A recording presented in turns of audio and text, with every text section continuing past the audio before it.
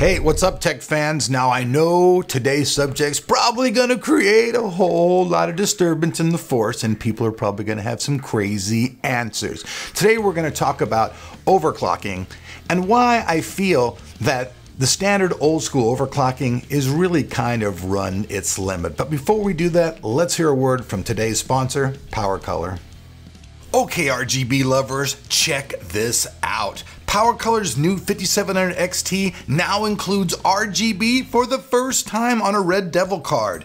You get RGB on the side, back, as well as LEDs on the output, so you won't ever have to look for connections in the dark again. You also get AMD's new Navi technology, as well as their new RDNA architecture, Pair that with an entirely new cooling solution, and you've got one hell of a card on your hands. It's also PCIe 4.0 ready, so you'll get the best performance you can out of this little Red Devil card. The Red Devil 5700 XT even features a dual BIOS switch. Set it to silent mode for those quiet gaming nights, or kick it into overclock mode and push the limits of the Red Devil to its max. And with extra features like AMD Radeon image sharpening and Fidelity FX, you'll get enhanced details and crisp looking visuals, and you'll get all this without having to sacrifice any performance. So check it out, gamers. If you're looking for the best Navi card out there, check out PowerColor's Red Devil RX 5700 XT. It has a boost clock of over 2000 megahertz, so you know you just can't go wrong with the Red Devil. It's wicked.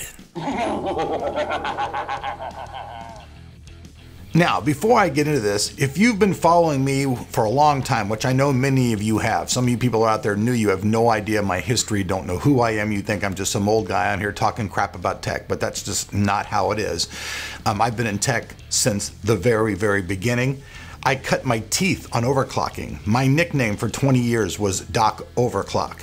Um, I'm not exactly sure if I'm the very first person to invent overclocking, but I know that my articles that I published on motherboards.org were some of the very first that were ever shown. And I've been doing overclocking type stuff ever since the Amiga back in the day. So when overclocking first started in the beginning, overclocking was really cool and it was really simple.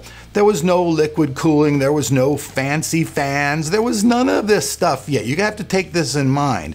None of the fancy ass stuff that you see in today's bills, liquid cooling, giant fans, massive, huge ways to cool, did not exist. And you used to be able to simply take your AMD or Pentium chip, you could change the front side bus, maybe change the clock speed, throw a little bit more voltage on it, and it would get a little bit hotter, but you could always do pretty decent overclocking. And then it got even more exciting with the Pentium 300 where you could just change a couple of things and all of a sudden you had yourself a 450 processor. Now, in those days, overclocking was pretty cool. And at this time, all you could overclock was your CPU. GPU overclocking, GPU overclocking wasn't even heard of. Overclocking your video card, um, heck, hey, I can't take any credit for that. That came, came, came out of the side to me as well. And now it's part of the whole deal. But here's the thing.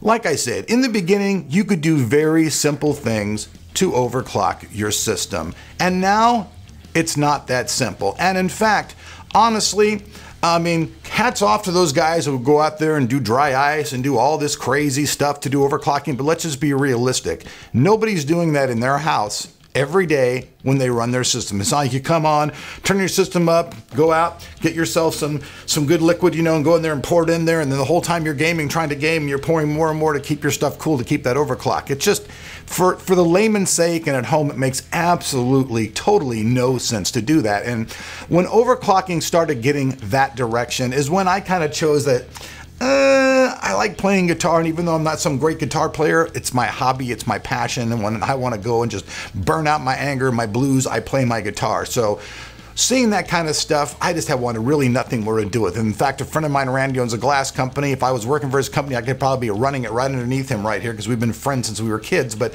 I never wanted to touch any of that glass just in case I'd get one of my fingers damaged. Honestly, it was just like, okay, I don't want to do it. So when it became something that could no longer just really be a simple thing to do overclocking, and these guys were out doing it with all kinds of liquid stuff, I was like, mm. and then overclocking changed.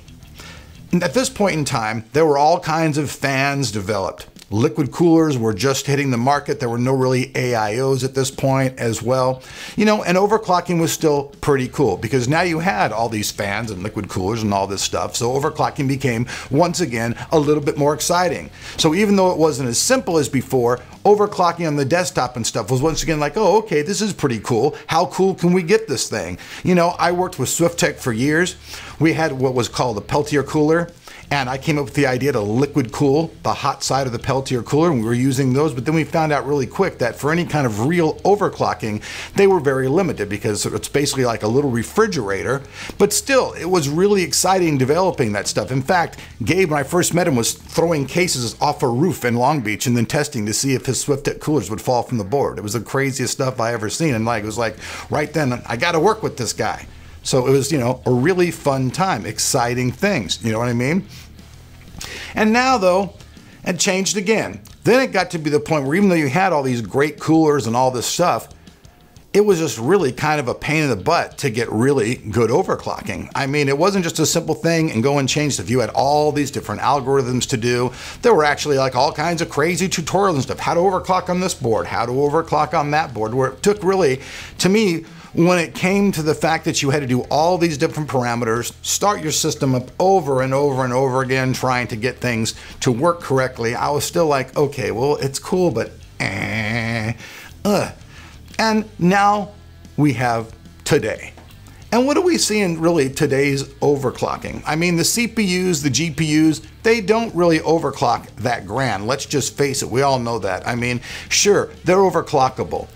But here are some things now that I've really tend to notice. A lot of people in forums and everywhere else, they're always talking about how they burnt their system up overclocking. And when it comes down to nowadays, you're going to have performance enhancement versus cost of lost or ROI, return on your investment. You've invested so much money in your computer and your video card. Is it really worth it to go completely crazy trying to do overclocking now when you're probably only going to get a few more frames per second in your gaming. And I mean, so what if your system gets 10 more points on 3D Mark than some other guy? Unless you're really going for the world's record, most of the time, your best gaming experience is just going to be setting stuff up, letting it run, letting it to its own boost, and you're good to go. And this is probably the final thing of the video. Now, everything has a boost clock. So you know that from the manufacturer, the boost clock is pretty much where they know the CPU is going to run really good at its maximum value. And to have your CPU run like that, or your GPU, you can pretty much set it up so that it always runs with boost continually on. And we all know that the cooler the system runs, the better the boost. So if boost speed has now become what I'll call automatic overclocking, what's really the point in getting all crazy and trying to do all this manual overclocking these days when you can still get great performance out the door with your stuff just by having your system run nice and cool, having the proper amount of power so your power supply is not straining, you know, having good airflow and all that stuff is very, very important. So to me, in today's day and age, overclocking just really isn't what it used to be. In the old days, you got easy overclocking, and you got a little bit of a performance boost and it got a little better it got a little bit harder you got a little bit better performance. But now to get these super duper overclocks you've got to really risk the heck out of your system and stuff. And yeah AMD I admit they've come actually a long way in their overclocking. I remember we were doing the pencil trick on AMD CPUs years and years and years ago years ago excuse me to do the overclocking.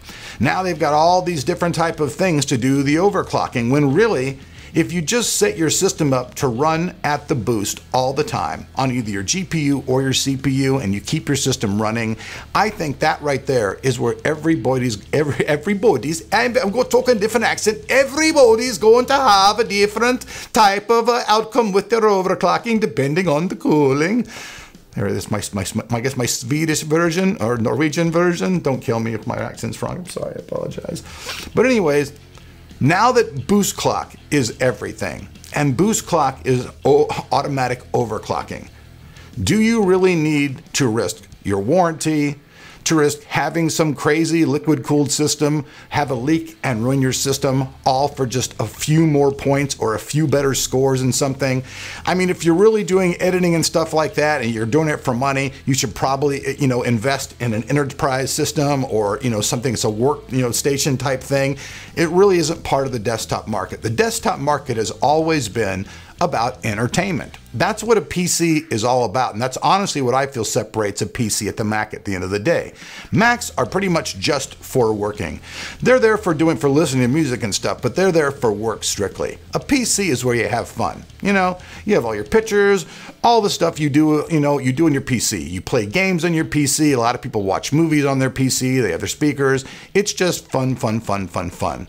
So at the end of the day, overclocking for me just is not what it used to be at all. The benefits aren't there. And when it comes to just having a system that runs great, straight off of what's going on, why even take the risk? Now, I know there's going to be some people out there that are hardcore overclockers going, oh, dude, no, you're crazy, man, this is that. But how many people out there, honestly, are hardcore overclockers? Most people are just gamers who are guys at home who want to play games with their friends, have fun, and live in an online world outside of reality and waste their time just having fun mindlessly playing these crazy games. I mean, that's it.